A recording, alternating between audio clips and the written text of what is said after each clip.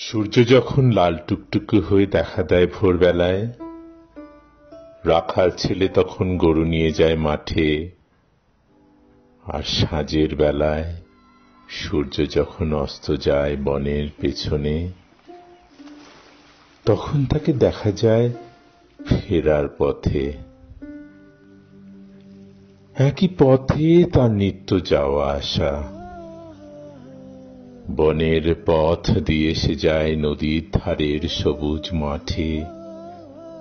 গরুগুলো সেখানেই চড়ে বেড়ায়, আর সে বসে থাকে গাছের ছায়ায় বাঁশিটি হাতে নিয়ে।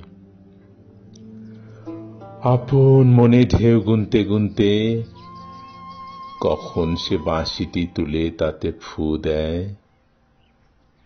আর সেই সুর শুনে নদীর ঢেউ নাচতে থাকে, গাছের পাতা দুলতে থাকে।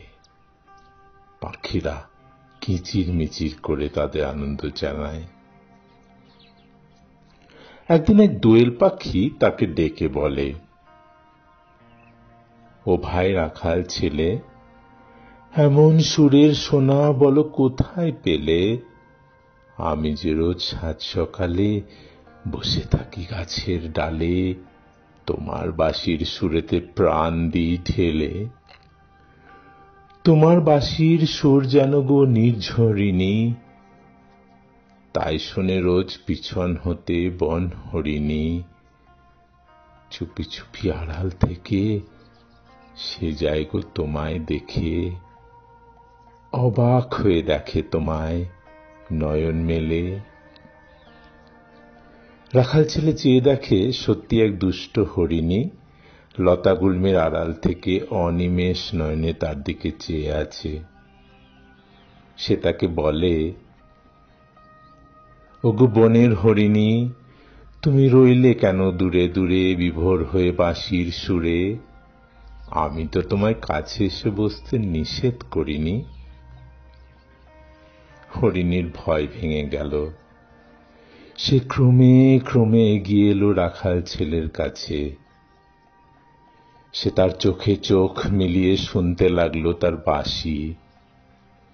অবোধ বনের পশু মুগ্ধ হলো তার বাঁশির তানে তারপর সে প্রতিদিন আসত তার বাঁশি শুনতে। যতক্ষণ না তার রেশটুকু মিলিয়ে যেত। বনান্তরে। হরিণীর মার কিন্তু পছন্দ হলো না তার মেয়ের এই বাঁশি শোনা। তা সে তার মেয়েকে বললে, ও আমার দুষ্টু মেয়ে, রোজ সকালে নদীর ধারে যাস কেন ধে? ভুল করে আর যাসনি যেন শুনতে বাসি। ওরা সব দুষ্টু মানুষ, মন ভুলাবে মিষ্টি হেসে। বুঝি বা ফাঁদ পেতেছে। ওরা তোকে একলা পেয়ে। তখন হরিণী তার মাকে বোঝায়, না গো মা, ভয় করো না। সে যে মানুষ নয়, সে যে গো রাখাল ছেলে। আমি তার কাছে গেলে সে ভীষণ খুশি হয়। এমনি করে সুরের মাথায় জড়িয়ে পড়ে হরিণী।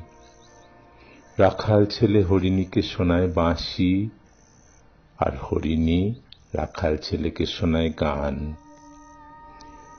তোমার বাঁশির সুর যেন গো, নদীর জলের ঢেউয়ের ধ্বনি, পাতায় পাতায় কাপন জাগায়, মাতায় বনের দিন রজনী। সকাল হলে তুমি যখন হেথায় আসো বাঁশির তানে তানে আমায় গভীর ভালোবাসো। মনের পাখায় উড়ে আমি স্বপনপুরে যাই তখনই। কিন্তু হরিণীর সেই নিত্য স্বপনপুরে যাওয়ার হলো না। একদিন এক শিকারি এলো সেই বনে। দূর থেকে সে দেখল এক রাখাল ছেলে বিহবল হয়ে বাঁশি বাজিয়ে চলেছে আর তার চোখে চোখ মিলিয়ে তাকিয়ে আছে এক হরিণী। কিন্তু শিকারীর মন ভিজল না সেই স্বর্গীয় দৃশ্যে।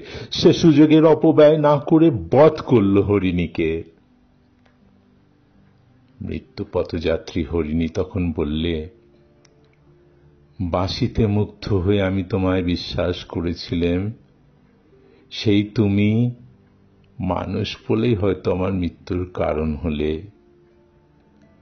তবু তোমায় মিনতি করছি বাঁশি তোমার বাজাও বন্ধু আমার মরণকালে। মরণ আমার আসে আসুক বাঁশির তালে তালে। যতক্ষণ মোর রয়েছে প্রাণ, শোনাও তোমার বাঁশির তান। বাঁশির তানে মরণ আমার ছিল মন্দ ভালো।